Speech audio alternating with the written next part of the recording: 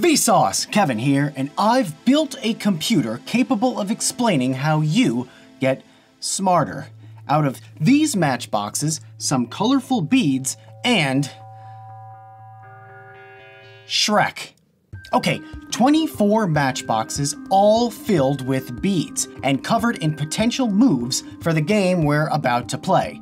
And this is our computer. Now Shrek comes along and wait, how is this a computer? Aren't computers just like electronic machines that run software? What is a computer? Well, the earliest computer was you, or your ancestors. They used calculating machines like the abacus to input information which output a result.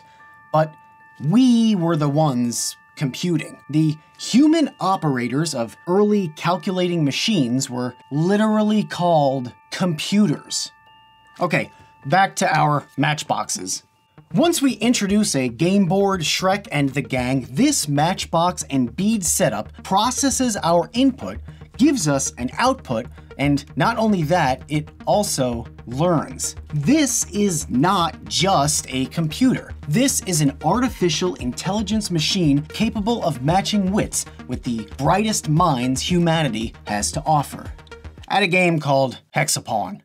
Here's how. Hexapawn is based on chess. Each player has three pawns on a board with just nine squares. The pieces move like chess pawns too. They can go forward one space if that space is unoccupied. If it is occupied by the opponent, then they can't go forward. Sorry, donkey. You can, however, move diagonally, but only to take an opponent's piece. There are three ways to win. Get a pawn to the other side of the board, take all of your opponent's pieces, or leave your opponent without a possible move like a checkmate in chess.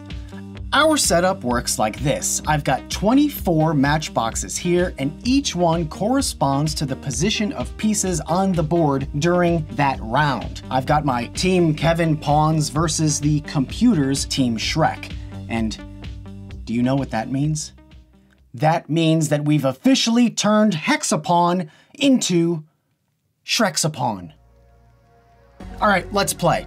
The human, that's me, always goes first. Wait, why? Because recreational mathematician Martin Gardner said so. He actually created Hexapawn and its rules as a simplified version of a 304 matchbox computer called Menace.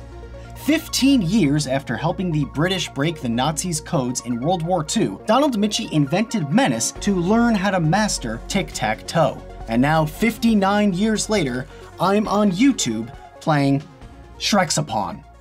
Since I go first, my moves only occur in the odd numbered rounds 1, 3, 5, and 7. Therefore, the matchboxes are grouped by possible Team Shrek moves in rounds 2, 4, and 6. One of us is guaranteed to win before round 8, so Team Shrek has no round 8 moves. Each box contains one colored bead for each potential move on that board position. So like this first box has a green, blue, and purple. And I've cut a hole at the bottom of the box that will only allow one bead at a time to fall out. So I'll just shake the box and let one bead out, and it's purple. That means if my pawn was here and it was Team Shrek's move, Team Shrek would make the purple arrow move, like this. If a blue bead had fallen out, then Team Shrek would have made the blue arrow move, and if it was a green bead, then Team Shrek would have made the green arrow move, and taken my pawn. Okay, so that's how Team Shrek will move. Team Kevin will move, however, I want Team Kevin to move because I'm Kevin, and then we'll play back and forth until there's a winner. All right, round one fight. I decide to move Lord Farquaad forward. For round two, I now use this box to determine Team Shrek's move. So we'll give it a shake. Whoa. Let's try that again. And it's the green move, so Donkey moves forward. Now it's my turn and I decide that, look, I can just take Princess Fiona when I move diagonally and win the game. That's it. Now, here's the important part. when Team Shrek makes a losing move, I remove that bead from the box. That way, the computer can't make the same bad move the next time that this situation comes up. By removing its beads, the computer learns to play better. When Team Shrek does win, then instead of removing the bead, I'll just put the bead back in the box. Okay, I'm gonna play a bunch of rounds now and I'll keep track of wins over here with a K when I win, and I'll write an S for a Shrek win. Here we go.